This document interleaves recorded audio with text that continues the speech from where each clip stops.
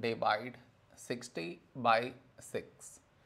To do this division, we should frame it in this way. 60 here, 6 here. This is your step 1.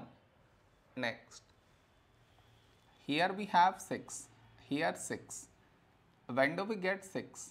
In 6 table, 6 ones 6. Now we should subtract, we get 0. After this, bring down the beside number. So 0 down, so 0. When do we get 0? In 6 table, 6 times 0, 0. Now we subtract, we get 0. After this, no more numbers to bring it down and we got remainder 0. So this is our quotient